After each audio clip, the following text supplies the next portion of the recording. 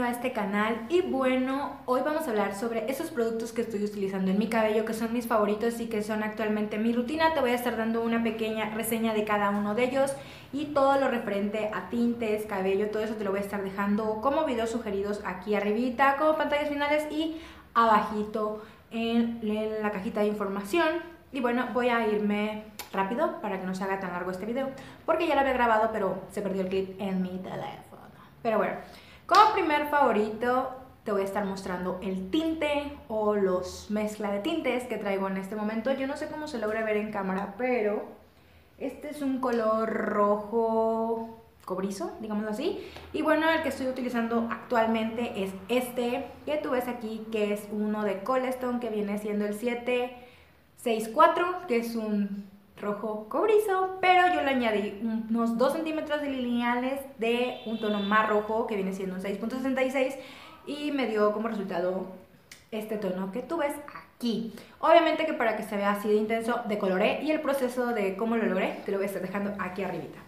Como siguiente producto que entra dentro de mi rutina y obviamente mis favoritos viene siendo mi shampoo que este es libre de sulfatos, obviamente lo buscamos así para que dure más el tinte es este que tú ves aquí, es el Johnson Baby.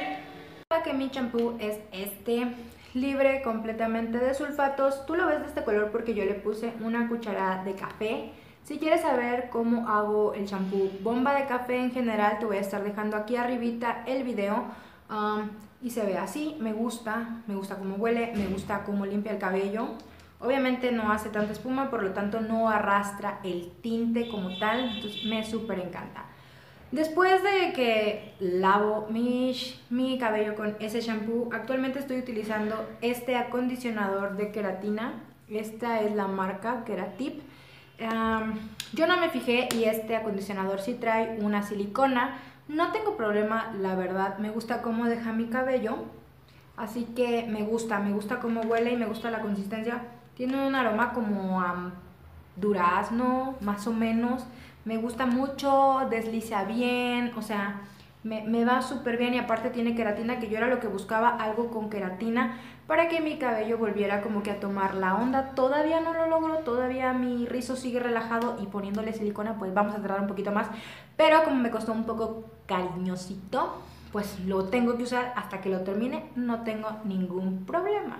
La verdad, si la silicona de este se acumula en mi cabello, pues en realidad no la siento tanto porque una vez a la quincena, sí, una vez a la quincena utilizo sulfatos fuertes. Un shampoo convencional tiene sulfatos fuertes. Yo en mi caso utilizo el Caprice, te voy a estar dejando aquí.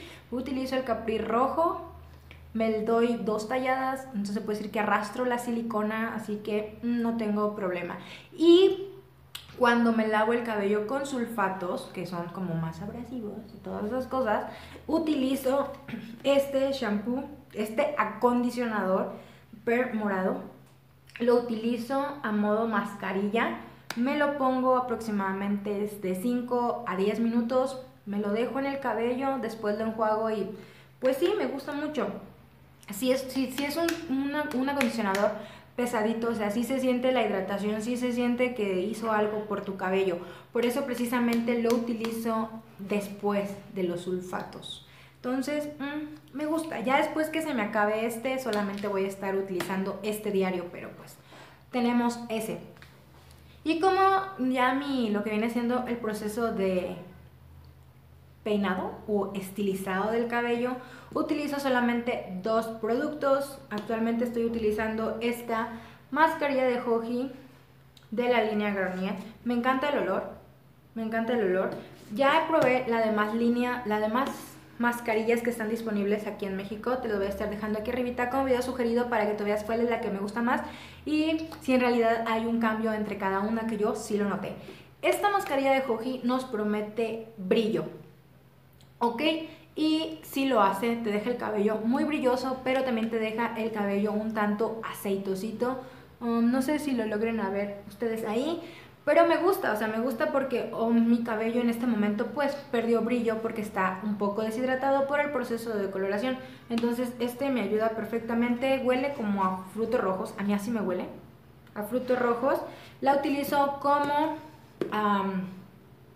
como crema para peinar y también la utilizo como un prepú. Eso significa un prepú, no te voy a decir como que a gran rasgo significa, pero el día que voy a utilizar shampoo con sulfatos me hago una mascarilla en seco con esto, o sea, me la pondría en todo el cabello y después paso al lado con sulfatos para proteger un poco mi tinte y mi cabello, pero lo verdad lo que protejo más es mi tinte. Y como ah, fijador, para que todo esto como que tome forma y no se me esponje más de lo que debería, pues mi amado gel de linaza. Si tú quieres saber cómo hago el gel de linaza, también te lo voy a dejar dejando aquí arribita como video sugerido. Y pues básicamente es gel de linaza. Es lo más natural que utilizo en toda mi rutina de cabello. Me gusta mucho, me va súper bien. Pues me va bien, o sea, no, no, no sé qué esperan para probar el gel de linaza, la verdad. Está súper barato y te dura un montón, te deja el cabello padre. Entonces, no sé, ¿ustedes cómo ven mi cabello? Hubo una chava que me decía que le gustaba más como, cómo me veía con el cabello como que loco en vez de planchado. Pero pues, no sé, me gusta de las dos formas, como que a veces me dan ganas de cambiar y pues digo, bueno, tengo la opción. y bueno, eso sería todo por este video. Espero te haya gustado. Espero tu like, tu comentario, tu suscripción y que pases a ver todos los videos con referente a mi cabello. Que yo sé que no es el más lindo del mundo, pero yo lo amo. Nos vemos. Bye.